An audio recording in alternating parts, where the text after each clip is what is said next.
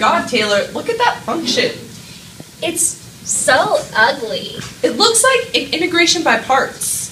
But you know, who understands those functions? We only use this method to undo the product rule, okay?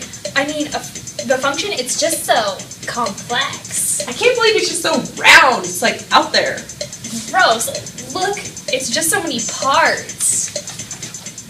I like to integrate and I cannot lie. You math nerds can't deny.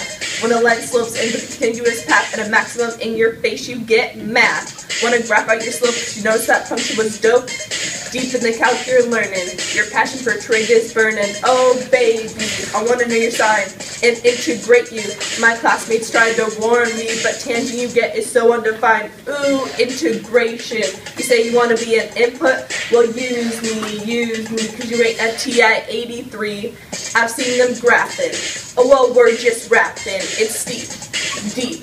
Get it going like a piecewise leap. I'm tired of F-prime curves, saying critical points cut nerve. Take the average math nerd and ask them that. Integration where it's at. So math nerds, Yeah. math nerds, Yeah. all have parts.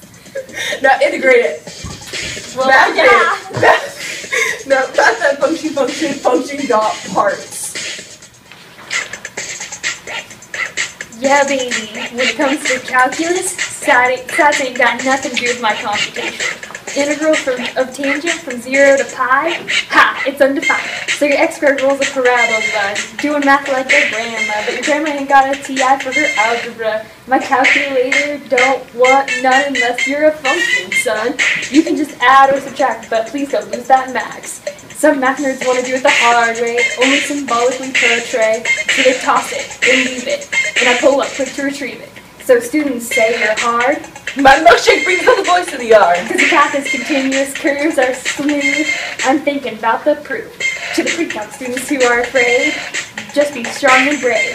Give me some trig and I know a few tricks, so I can get my calcs fixed. Some freshmen tried to diss, because my math skills aren't on his list.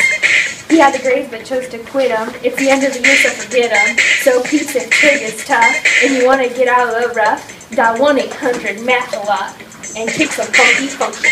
Function got parts. What?